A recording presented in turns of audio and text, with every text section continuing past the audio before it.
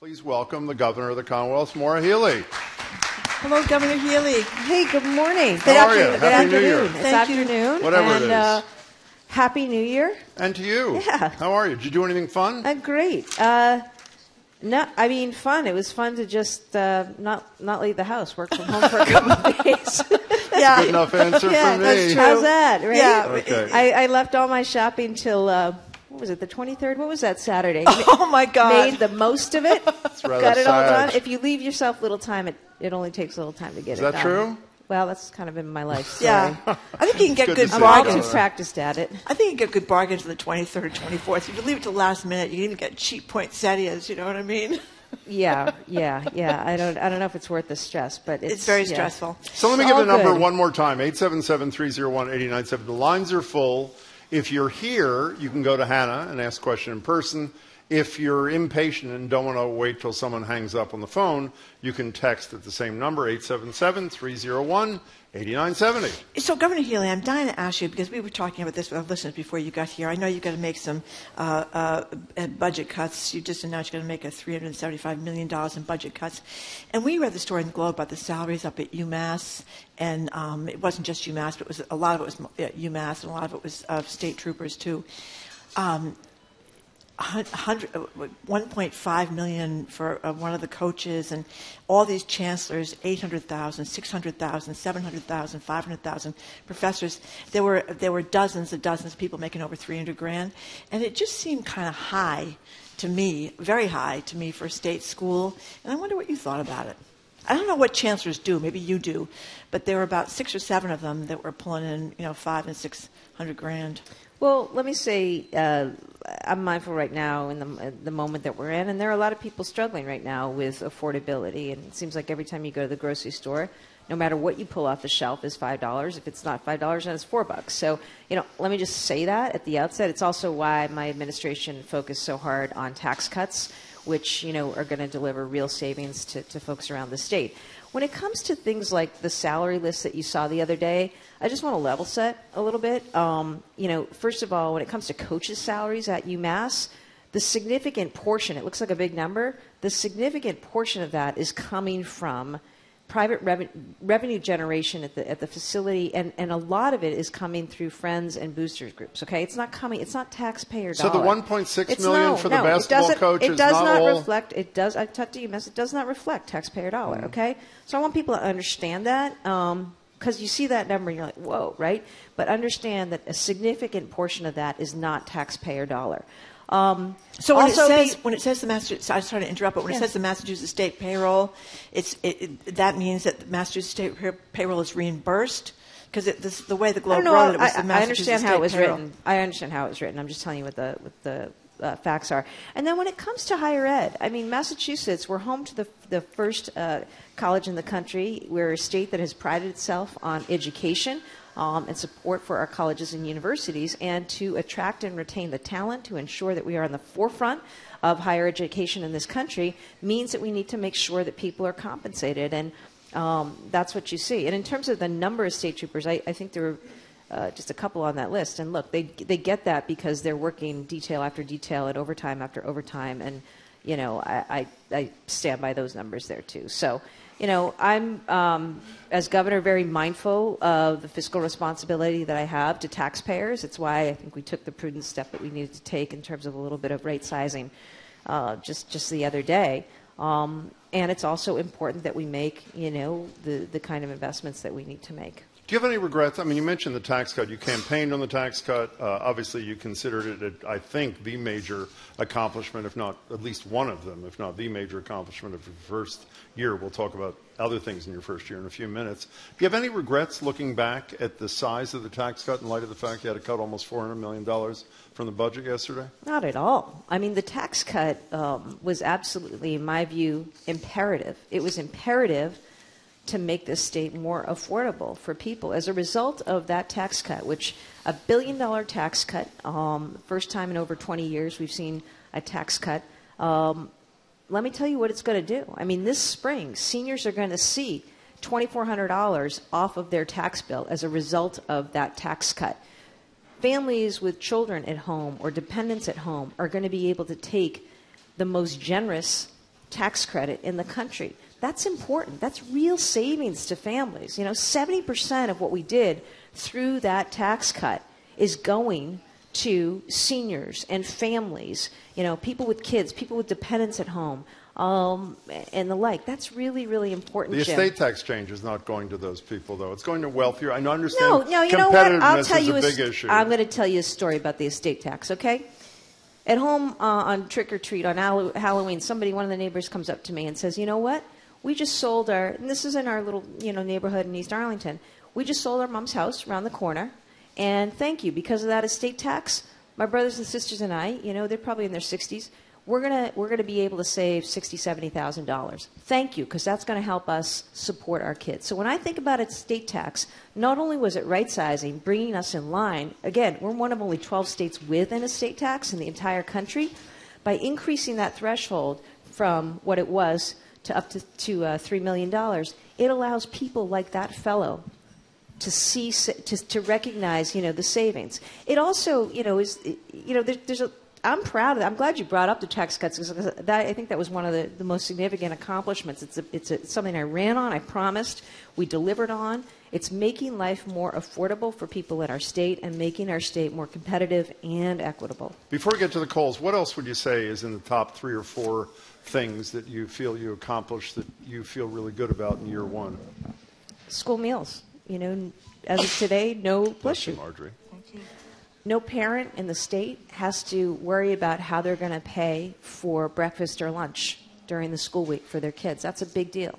Uh, community college, making it free to those 25 and older, lowering the cost of in-state uh, tuition uh, for for residents here at our state colleges and university, appointing the country's first climate chief, and you know making significant investments um, in workforce, in education uh, expanding access to mental health services. These are just some of the things.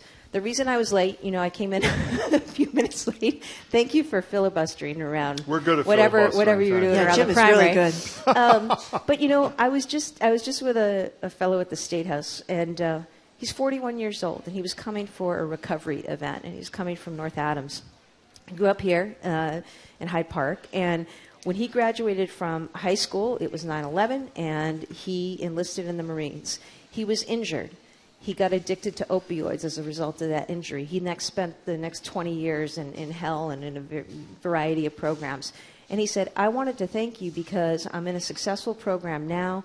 I'm doing great. And because of your program, Mass Reconnect, Free Community College, to those 25, I am going to Berkshire Community College. I'm studying STEM and 3D printing, and I'm on the road to, to the kind of job that I want th- that's a story representative of some of what we were able to do this year. Um, I think our response to farmers, frankly, you know, remember the devastating flooding around this state. We rallied. I appointed the first rural affairs director ever. We had our new commissioner of agriculture, who happens to be from a farming family in Western Mass, on the ground. We quickly were able to work with the legislature, get $20 million in relief to help those farmers um, survive. We were able to reach out to private philanthropy and create a fund, $3 million, that also went to farmers. You know, it's another example of success, I believe, because it shows, you know, the ways in which we can come together as a state. What's your biggest A lot- disappointment from year one? What didn't you get that was high on your priority list, Governor Healey? You know, you, you always want to see more uh, done uh, more quickly, right? I mean, that's that's just kind of the inherent nature of the job, and I think that both the LG and our teams bring to this uh, a real urgency around getting stuff done as quickly as possible. But you know, I'm just grateful to the teams across the administration. I'm grateful to the partnership with the legislature, and I'm grateful to the way that so many people stepped up around the state over the last year. Uh, do we have our challenges? Absolutely. And you know, the the biggest challenge we face is housing, the lack of, of housing. We need to make housing more affordable to first-time homebuyers, to renters, to seniors. Uh, it's why I filed the four billion dollar housing bill that I did, the Affordable Homes Act, and that's something I'm going to be laser focused on this year because I don't want housing to, to be the problem that it is right now in our state. Our state is a great state if you can afford to live here. Can I ask one question about housing and then you'll take over? Is that okay? Sure. Since you brought it up, there are two tough nuts to crack, I would argue, for this legislature. Is one, this real estate transfer tax on higher end transactions, which obviously go to affordable housing. It sort of mirrors with a different uh, ceiling what uh, Mayor Wu did in a home rule petition, and also this uh, uh, uh statewide legislation that would override local zoning rules around those granny flats or whatever the hell they're called, accessory dwelling units, mm-hmm. those sort of ADUs. things. Which means they have to stand up to local officials, sort of like the legislature for once did it on this uh, zoning thing, uh, you know, around the T stops. Uh, what are your conversations like with leaders on those two issues? Well, I think everybody recognizes how dominant housing is as an issue here in the state. And, you know, I want people coming here. I want people going to school here and staying here. I want people growing businesses here. I want employers expanding here. And I want people who were born and raised here to be able to stay here. And that's why we need to do all we can to create more housing out there. So the conversations have been positive. Um, and, you know, I'm ready to, to, to work uh, with anyone on this issue. I think that the legislature understands that because, you know, we're all hearing from people, right? And they're certainly hearing from constituents. What we laid out in that $4 billion bond bill um, are a number of ways that we can get there. The ADUs are an example. You know, ADUs have been in place by right in other states around the country, and it's a very quick way to create a whole bunch more housing around the state. It makes a lot of sense. So, you know, it's just one of any number of ways to get there. Um, but we must get there for the for the economic well-being of the state, for the direction of the state. Uh, we, have slowed finally out migration, um, but we need to you know we need to just continue to keep working on this, and it's the top priority. It's also Jim why you know when I started, we said that we were going to deliver a housing secretary, um, and we have for the first time in our state's history a secretary of housing and livable communities. And from day one, when he started in March, he has been all about you know. Uh, generating, finding ways to generate more housing. Um, and the Affordable Homes Act is, is the result of that. We're talking with Governor uh, Maura Healey. She's here until the top of the hour to take your calls and our questions and your questions, 877 301 8970. Let's go to Daisy in Dorchester. Thank you for calling. Hi, Daisy. Hi there. Hi. Um, my question for the governor um, relates to the budget cuts um, and also the fact that today's news is filled with um, the official count that 2023 was the hottest year in 125,000 years.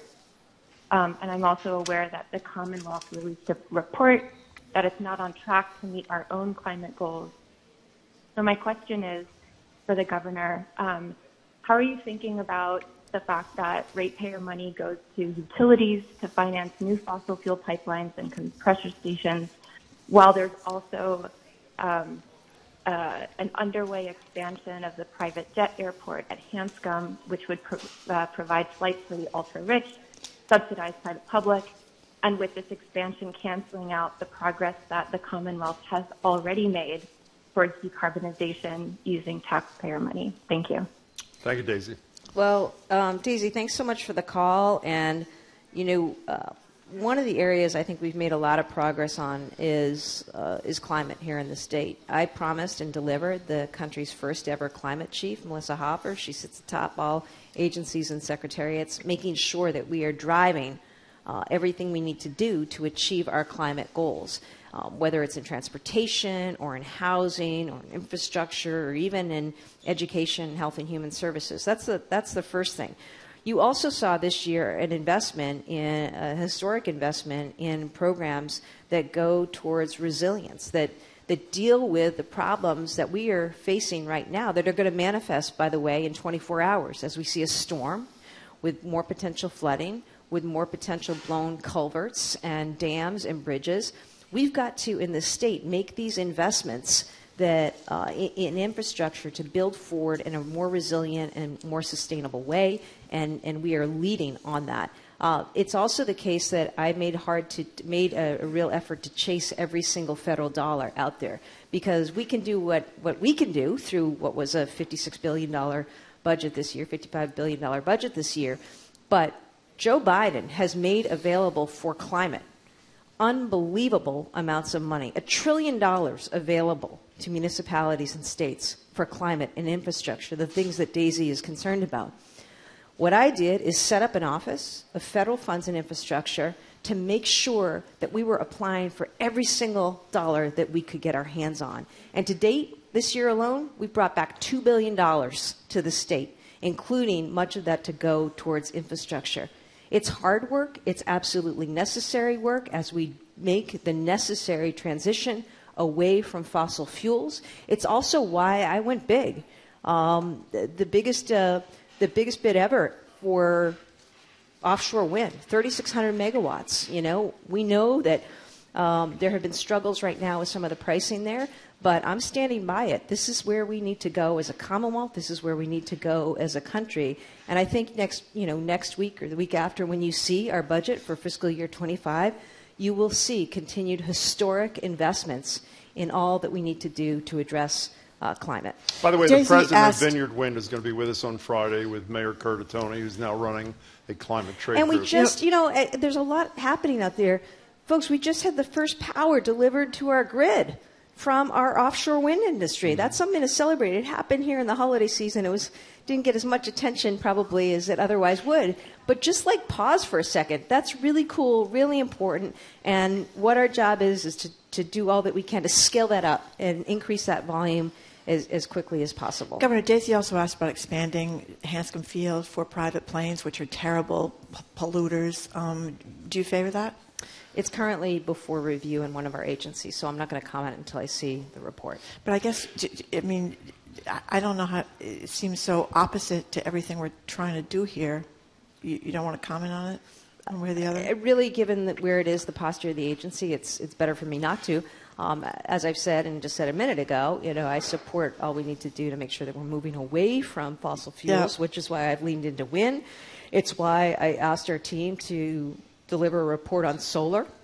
Where are the spots in the Commonwealth that are ripe for solar, whether it's on top of municipal buildings or you know other areas of land? Um, you know, we've got to do all we can. It's why we set up for the first time in um, in state government uh, a team that is working with other New England states, and in fact, uh, with states up and down the Mid Atlantic, because our climate uh, the responsibility, what we need to do in this space, particularly when it comes to you know setting up these other non-fossil fuel related energy sources, and also making sure that we have the infrastructure in a grid to deliver that to people's homes and businesses requires that states actually collaborate and work together. And I'm really proud of the team for having the foresight, and Massachusetts is in the lead on this as convener and organizer of all the New England and Mid Atlantic states on how we together work to deliver more non fossil fuel uh, energy uh, power. One last question on this. What's the entity that's going to make the Hanscom decision? What's it, what's it called? Who it's with. Oh, it's it's currently is part of our MEPA process within our And why Department would of you not? Environmental Protection. Why would you not want the public to know and them to know what the governor's position is on this critical issue that's before him? Because I respect the work of my teams.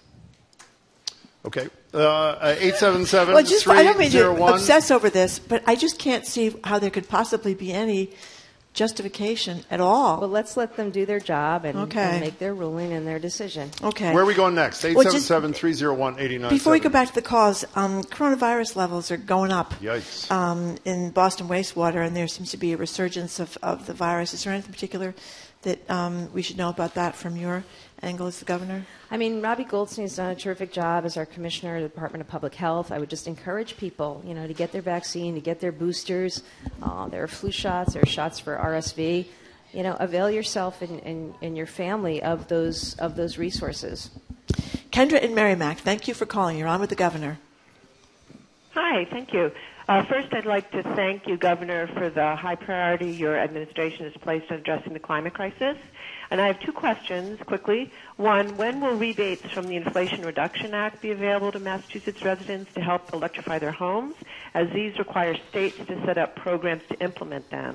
And two, are there any plans to clearly communicate to residents all of the money available to for electric, electrification of their homes from both the federal and the state because the number of options is really confusing to people. Thank you. You know, you. Kendra, I am so glad you mentioned that. I had the same conversation with my team the other day, and it was basically like, let's make sure, sure that we're serving up a menu to folks about like what is available and what can they do because you know this is an area where I think climate it can be really overwhelming. You know, when you can, there's some you can just sort of throw your hands up in the air, like, how can I begin to make a difference in this space?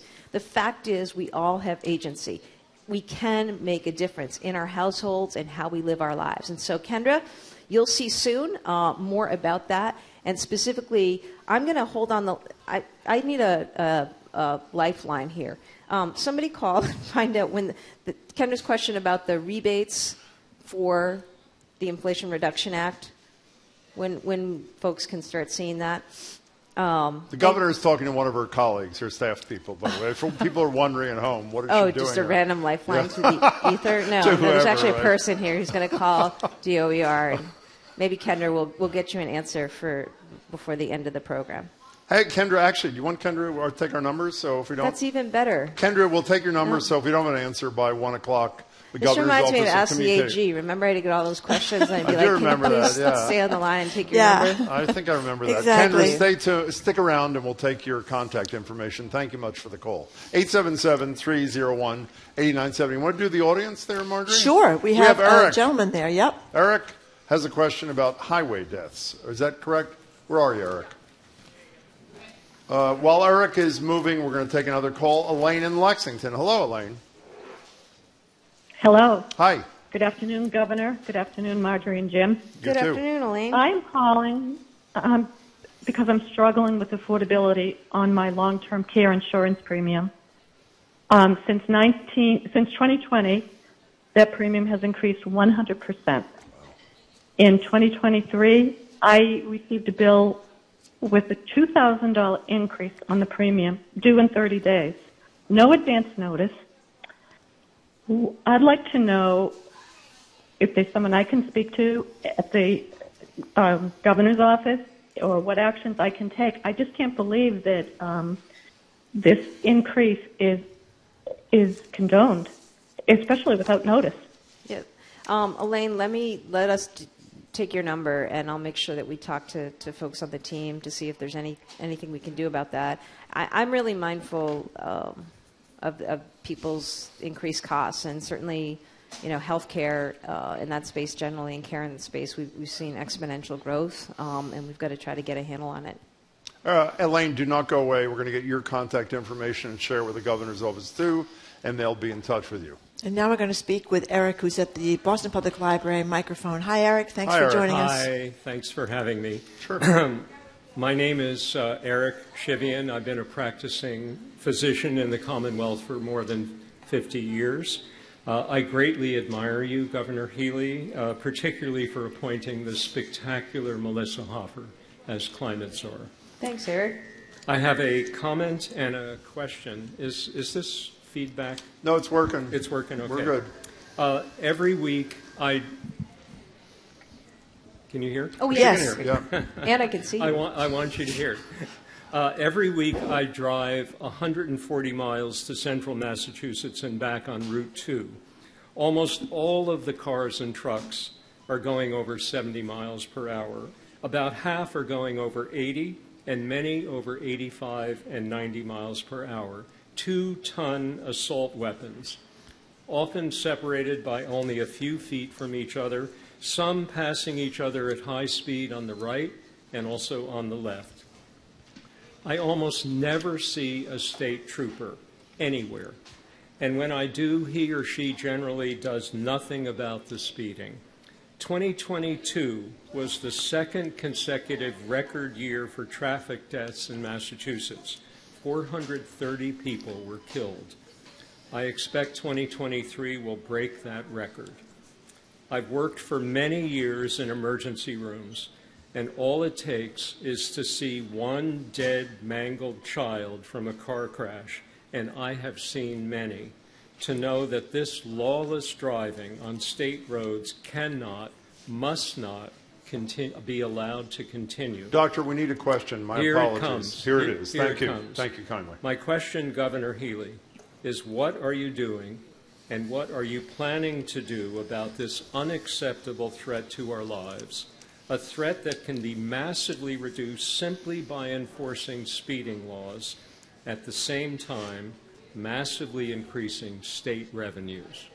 Thank you. Thanks for your question. Um, Where do you practice in Central Mass? I don't practice in Central Mass. I practice in Boston. I have a farm in Petersham, Massachusetts, Mm-hmm.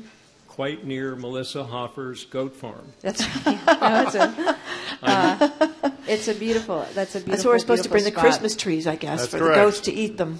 Yeah. Um, well, let me take that back, Eric, and talk to our Executive Office of Public Safety. I mean, we saw through COVID an increase, I think, nationally um, coming out and during that time and um, in fatalities. It's it's it's a national issue. So let me take that back. I know one of the things we're thinking about is enforcement and the use of technology around enforcement. So it's not just personnel um, on the roads, but actually technology as well. So I appreciate I appreciate the comment and um, thank you for what you do and caring for people. And I can imagine how uh, how horrible it is to, to, to bear witness to that. And you know, um, people's recklessness or, or disregard for others and the lives of, of others. Um, it's it's a point worth reminding us all about. Doctor, if you leave your contact information Yeah, with please- Hannah, our coworker, the governor, we'll give it to the governor's office. Thank you for coming. Please do. Can we stay in Thank you. transportation for a minute? Uh, I'm going to preempt you saying how impressed you are with Philip Eng so far, because we are too. Very. Uh, and we know you are. We've read you say it, but obviously Philip Eng is the new head of the T. Ted Lasso. We discussed with he was kind enough to take calls, by the way, which was really great, uh, unlike his predecessors who hid out historically, but that's our opinion, not yours. Uh, we talked to him about the uh, narrow uh, tracks on the Green Line and how the, virtually the whole line has got to be expanded to deal with slowness and safety and that sort of thing. We also raised the name of the man, this Dalton guy, who was in charge of the Green Line expansion when all this was happening, and he focused he wouldn't, didn't really want to talk about accountability there. And I don't mean this in a pejorative way. I'm just trying to be descriptive. He said we want to get this fixed. That we're not going to have the rate pay, the uh, fare payers or the taxpayers pay anymore. I know you've made the same assurance. If someone like Dalton, who at least based on Globe coverage, covered up this situation and potentially put people at risk financially and in terms of their health, is not held accountable why is there an incentive for another Mr. Dalton to not do the same kind of thing when serving state government, Governor? Yeah, I think that people um, understand, you know, and I want taxpayers and residents to know. I mean, everybody is expected to do their job, to do their job well, uh, certainly competently. There's a review ongoing as to what happened there. Okay, so I'm going to let that proceed, and whatever actions need to be taken will be taken. I have said though that when it comes to the contractor in this particular engagement on, on GLX on the Green Line extension, that I don't want to see a dime of taxpayer money having go, having to go to rectify the situation. So we'll we'll see where their review lands. But you know, I am focused, Jim, as I think I need to be, on the now. What are we doing now to make things uh, move faster and assure the public that the the, the public transit is, is safe and reliable? Are we entitled to know why Dalton decided not to disclose this allegedly to Governor I Baker think, I- and the I- public? well, I think that that review is ongoing, and all that information will be made available. And I'm not uh, crediting it, what what you're presupposing in your in your comment either. I'm just telling you that, of course, I'm going to make everything available. but it is factually accurate that he didn't disclose to anybody, as far as we know, including the governor, according to the Yeah, governor's it, spokesperson. I mean, it, it appears that to the be tracks that way. It appears to be that way, but like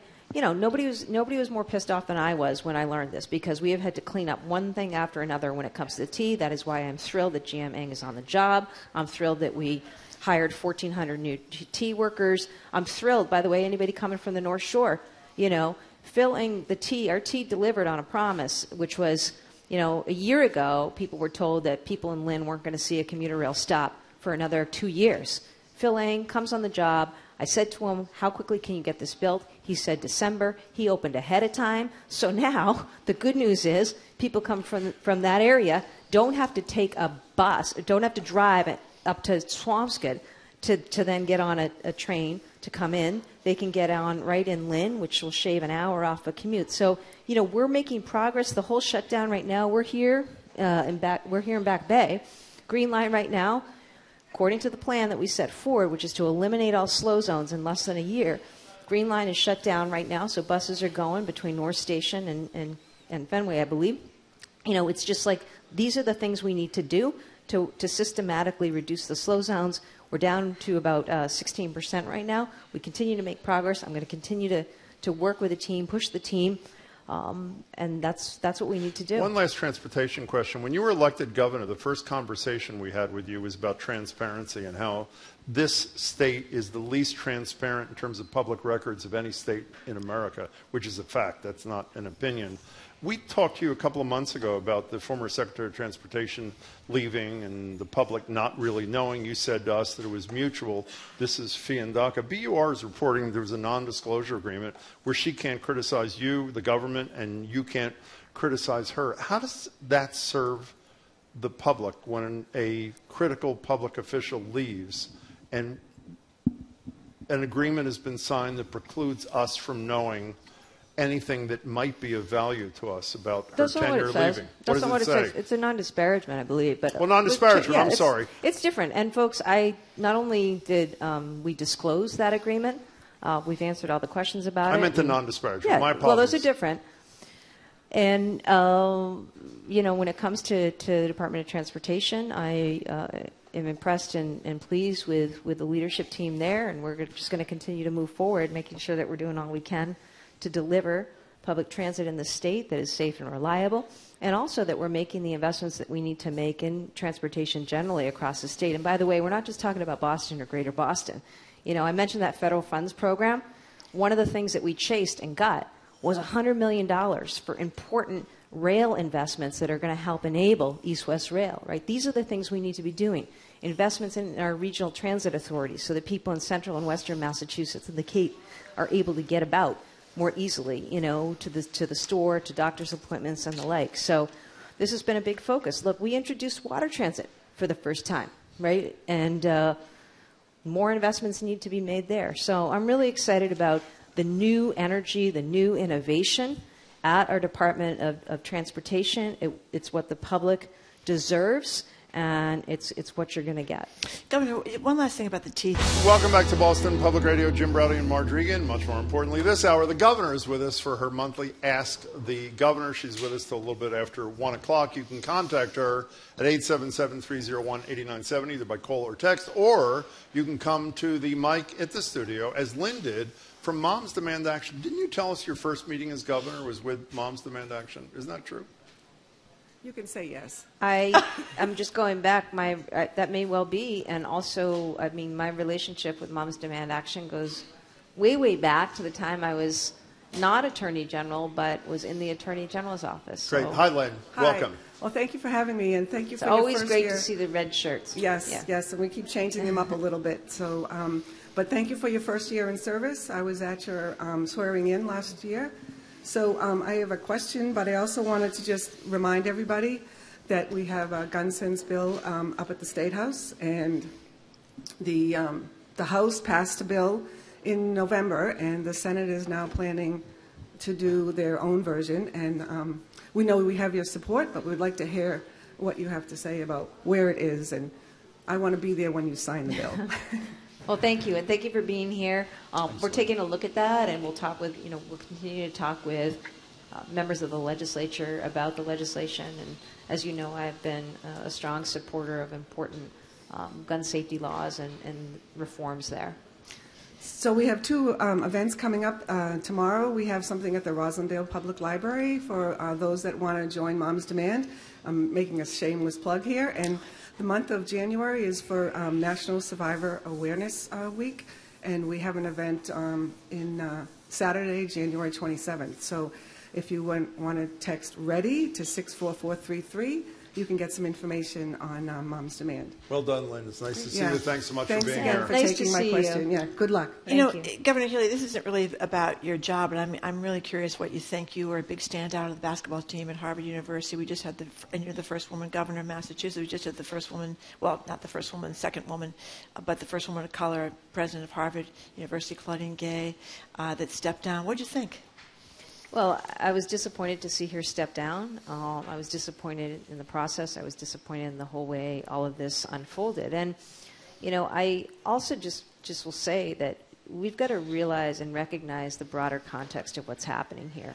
Um, several weeks ago, Elise Stefanik convened a hearing, and it was interesting. She she called three people, all of whom happened to be women, uh, one woman of color, and had them for the hearing. We could talk about the hearing. I think that Claudine Gay and the other presidents have uh, rightly apologized for some of the comments that they made that were uh, very lawyerly in, in a response and really missed the moment in terms of you know where we need to be because it's absolutely clear we need to denounce genocide and denounce anti-Semitism and denounce Islamophobia and we need to make sure that students are safe on campus, right?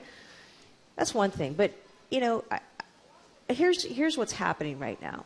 Um, Elise Stefanik has continued, right? Because this wasn't. I mean, this there is a, a systematic effort right now um, by some on the far right to go after higher education right now, and that's what's that's what you see playing out with the calls to defund higher education, uh, to eliminate some of the programming, uh, to eliminate uh, pilot, for example.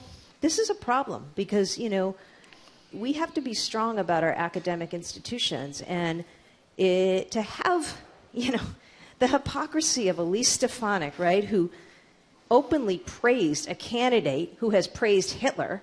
I mean, give me a break. Referred to the January 6th insurrectionists as, as hostages, uh, someone who's an election denier. I mean, the idea that the likes of someone like Elise Stefanik is going to call into question, you know, um, higher education or the value of higher education in this country really galls me. So, you know, that's that's my comment, and and also, you know, a warning um, in terms of what's happening out there and, and what's at play. Do you think she had to go? Uh, the that the performance in Congress coupled with the accusations of plagiarism. Do you think she had to go? Yeah, I think that Claudine Gay addressed those. I thought that that uh, the corporation had addressed those. I thought she could continue to lead the university. 877-301-8970. Rama, you're on uh, Boston Public Radio with the Governor of the Commonwealth. Welcome. Hi. Hi. Hi, everybody. Hello. And uh, hi, thanks. I was uh, listening to the program, I believe, a month or two ago, and when you asked the governor that question about Hanscom expansion, she said the same exact words, if I'm not mistaken. Now, uh, those agencies that are in their process aren't those agencies our agencies? And why is that process not transparent? Can I go to those meetings? Can you go to those meetings, Jim, Marjorie? Uh, I think talk about lawyerly political speak. I just wish, wish our governor would please stop dancing. Well, what's a, how about a question? Wait, what's this- How- what's rather this than a fellow's name? speech, how about a what's question? This, what's, what's this person's name? Yeah, Uh, Rama. Rama. The question, What is the it? question is, Rama. can I? Okay, Rama. Rama. Hey, let, let me cut to it, Rama. Let the okay? governor respond. Um, first of all, there is a process. There's a process for comment. There's a process for submission by the various parties. I ask you to familiarize yourself with the MEPA process. No one's trying to hide the ball on anything.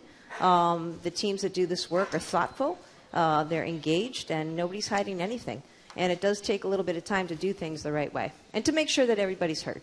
Rama, thank you for the call. Governor, some uh, decision was made by your administration, not decision, but announcement about financial aid applications for undocumented students in higher ed. Could you fill people in briefly on what that is, please? Yeah, you know, you asked about different things we did this year, and um, you know, one of the things we did this year, Jim, in-state tuition Yeah. for students who are undocumented. We've got a lot of kids who, you know, may have come to this country when they were two or three or four years old. This is the only country, the only state they've ever known, and they've done everything right. But when they get to, you know, graduate from high school, they find out, wow, I'm not treated like my friends. I can't qualify for in-state tuition. I can't get a driver's license. You know, I can't get financial aid or scholarships come through the state. We just changed all that in the state, and we should be proud of that, okay? We now have driver's licenses for folks who are undocumented, who are contributing in so many different ways to our Commonwealth. We now have in state tuition available to residents who are un- students who are undocumented. And uh, we also now have financial aid through the state available to all students, okay, who are documented, who are undocumented. This is good, right? Don't we want everybody who's living here, we want to invest in them so they become part of our, you know, our workforce and, and, and our economy and, you know, we're able to, to further their, uh, their opportunities. So I'm really pumped about this. The program is, uh, is uh, available. I'll get you where folks can go, but know that if you are a student right now, you're eligible to go and uh, go online and apply uh, for our MASFA program um, that'll make you, you know, eligible to receive state scholarships, state funding, the same as any other student in the state. You're, uh, you're, I assume you're looking and we'll get uh, a web address in the next few minutes from you or one of your colleagues, or where do they go? It's mass, mass.edu slash MASFA, M A S F A. Fair enough. Uh, Governor, what's happening with the migrant crisis? I know some people have been able to get work permits, which is a big deal, but there still is a real um, emergency here.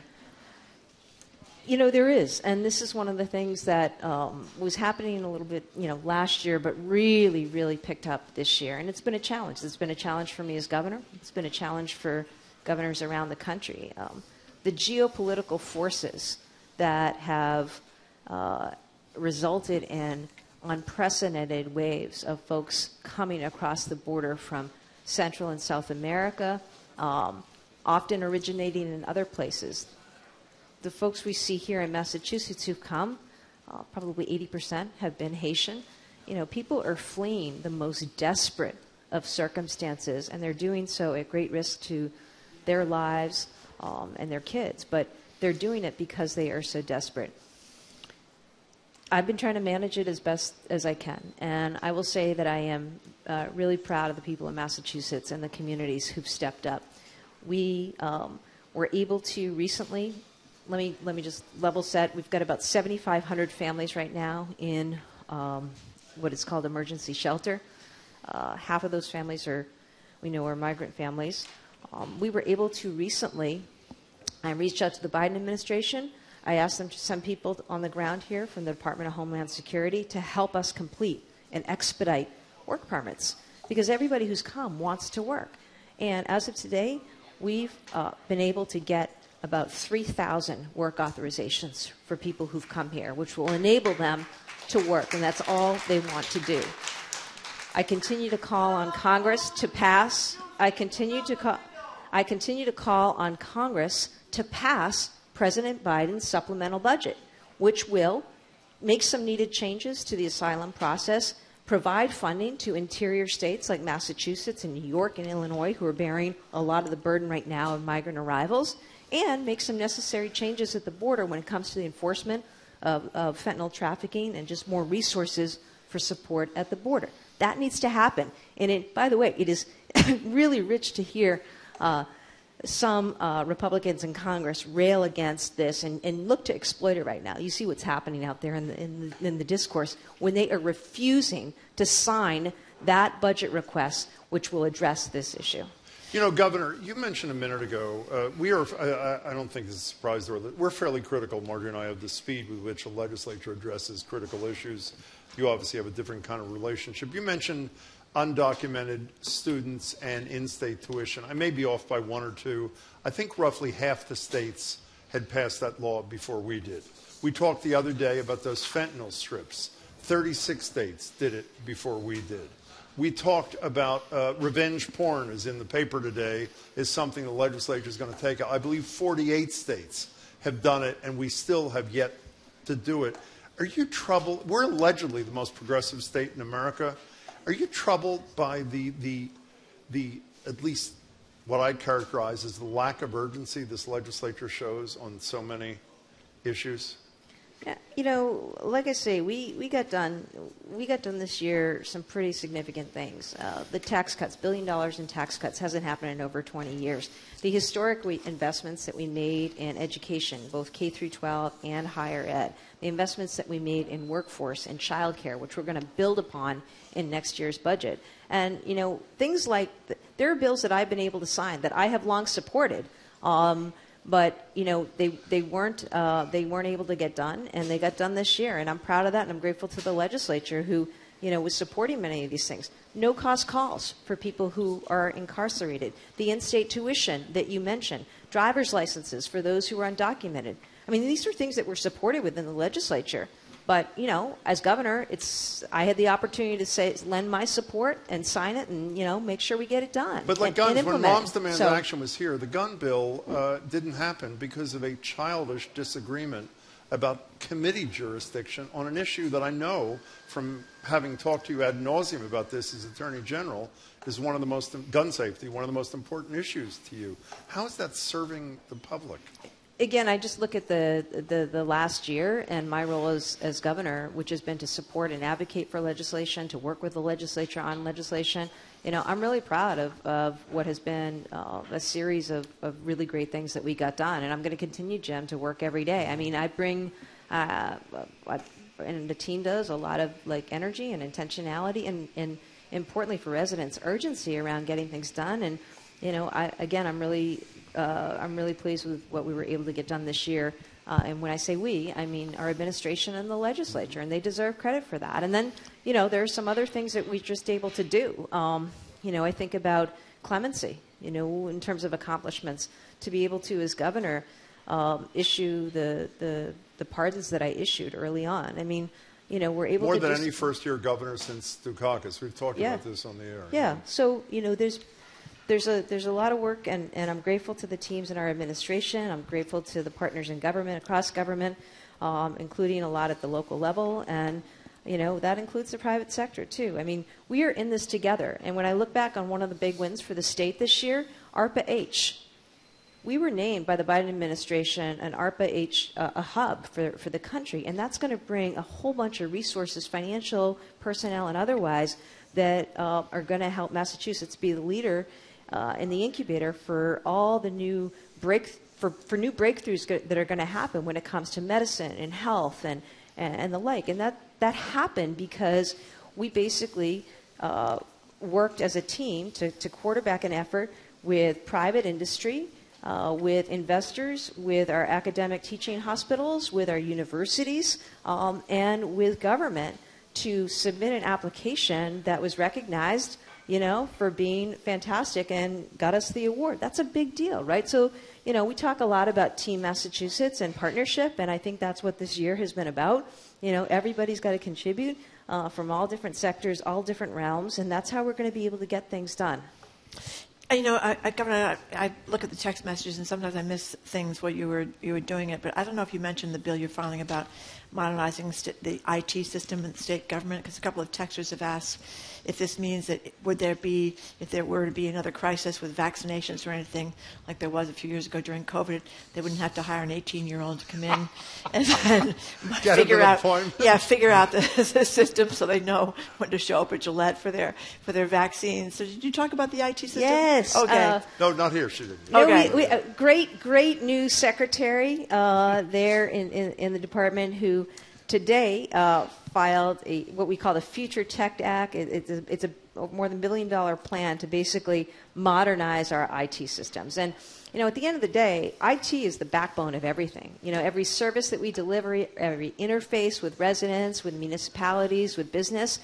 And as Massachusetts, like we better have the very best technology of all states in the country, right? Like so much of it was pioneered here, developed here. You know, we have got to be the best. And that's why we filed this bill today. It's a bond bill that enables us to go out and borrow some more money to make the investments that we need to make now to modernize our technology system so that you know, whether it's the next, I, I don't, certainly for the next crisis, but more than that, for everyday use. RMV, all those every, places, yep. Yeah, everyday use. We've got to make sure that it's really top shelf and that there's a, uh, uh, an ease of, of use for, for residents, for our businesses, for municipalities. That's what this is about. And we've actually spent a lot of time, and credit to, to Secretary Snyder for the time that he and his team have spent. You know, it also means helping out our municipalities, who in this day and age are subject to cybersecurity, you know, issues, right, and cyber attacks. You've had towns and cities held hostage by ransom attacks. Um, we've got to make sure that everybody's shored up, our state agencies as well as our municipalities and our administration and you know, credit to Lieutenant Governor Kim Driscoll, who knows a thing or two about municipal government. Uh, we've really leaned hard into investing in and partnering with and supporting our municipalities, and, and uh, that's also reflected in the Future Tech Act. The other thing that we leaned into with this Future Tech Act is making the portable portal for childcare oh, easier to use. Great. Childcare, one of the greatest stressors facing families in the state We know we have high costs for childcare. We're working on lowering the costs of access to childcare through our budget last year and the one that we're going to file. And we want to better um, operationalize that, make it easier to use, make it easier for people to access uh, uh, childcare and navigate, uh, including financial assistance um, for childcare. And we're going to do that through through this Future Tech Act. We have Lorraine at the Boston Public Library microphone. Uh, is she still there? The other thing I'd say about that, because we're sitting here in the heart of everything, AI. You know, AI Yeah. obviously is a game changer. We want to be a state that leads when it comes to the application of AI and how we can use AI in a way that's constructive and useful uh, to to make life better for folks. Well, uh, Lorraine is getting to the mic. Anna, you're in Rockport. You're on with Governor Maura Healey. Welcome. Yes, hi. Uh, thanks for having me on today. Sure, sure. Um, I wanted to ask the governor if she had a chance to read the articles in the Boston Globe by Liz Kowalczyk about the abuse and mistreatment of people with autism and intellectual and developmental disabilities and what she intends as governor to do about that. My son was uh, abused in a group home in 2017, and since then, I have testified at the state legislature, met with um, Governor Healey's office when she was Attorney General, um, worked on getting legislation passed, but yet the numbers of abuse keep going up and up every year. And um, so it, it's really a tragedy in Massachusetts. It's a state shame that this is happening. And I just want to ask the governor what she intends to do about this. Thank you, Anna. Thank you, Anna. Thank you for the call. Uh, I certainly did read the articles, and just more generally, I've spent a lot of time with, with families on this, as well as with folks within our um, health and human services agencies. And there are many agencies that that touch this. Um, you know, I want to say at the outset, my heart goes out to you and to so many families, um, parents, caregivers uh, who are struggling with this and dealing with this. Um, and as a state, we have to do everything that we can to make sure that the right resources are in place.